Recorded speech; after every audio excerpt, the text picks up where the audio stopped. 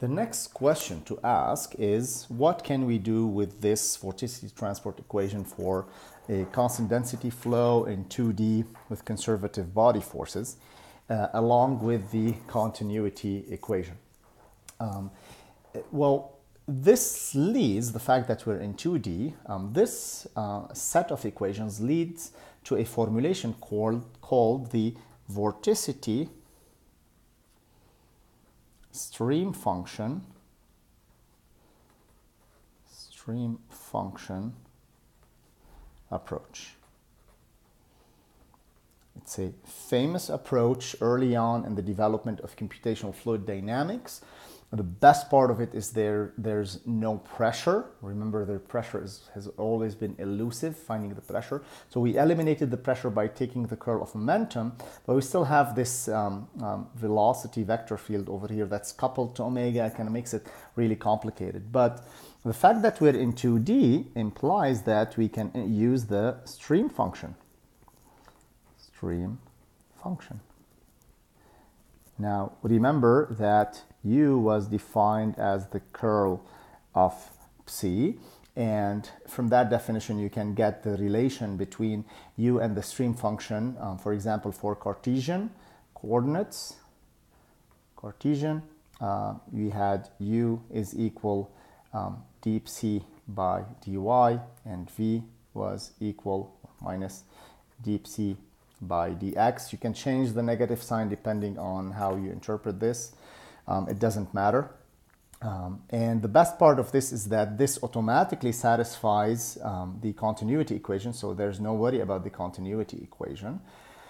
Um, but still, how can we use this um, to develop a, a methodology to solve um, to solve the vorticity transport equation because we still have one additional unknown. So now we have we went from omega uv to omega and psi. So we still need one more equation um, for psi. And that is going to come, so if you count with me, this is one equation, d omega by dt, plus, if you want to think of this, um, if you want to if you want to expand this, this is u d omega by dx, right? u d omega by dx plus v d omega by dy. Let's say we're doing Cartesian is equal nu del squared omega now we can substitute psi here um, in place of u and v and we get dw by dt um, minus d psi by dy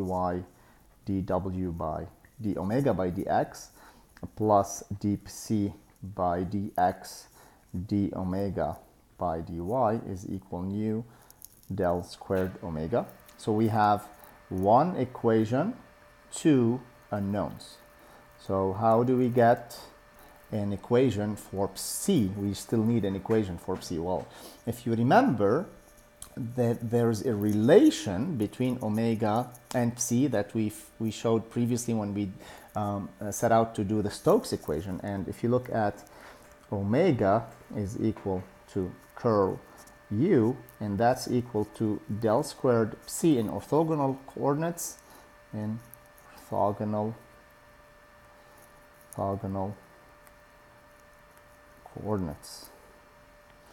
Okay, and that essentially um, closes in 2D and 2D.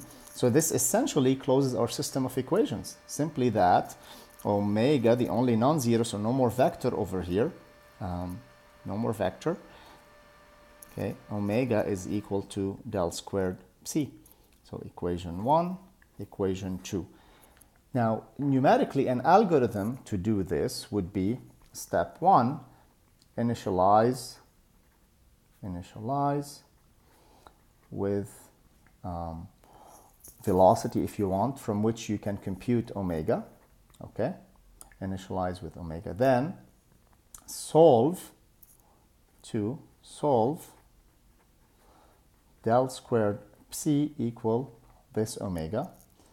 Then 3 solve equation 1 equation 1 okay you want this is 2 solve equation 1 for omega and for repeat Of course, you need appropriate boundary conditions for um, omega and psi. And I, as I mentioned earlier when we were doing the Stokes equations, um, this is not an easy task to do, but numerically you can do some approximations, some first order approximations to obtain omega from an initial um, velocity field. So typically you initialize with a velocity from which you deduce boundary conditions on omega and psi, and then um, um and then from there on you can do this process.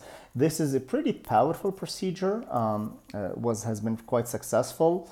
Um, and however, it's limited to two dimensions. Extensions to 3D are extremely complicated, um, and typically we just prefer to use the primitive form of the uh, Navier-Stokes equations.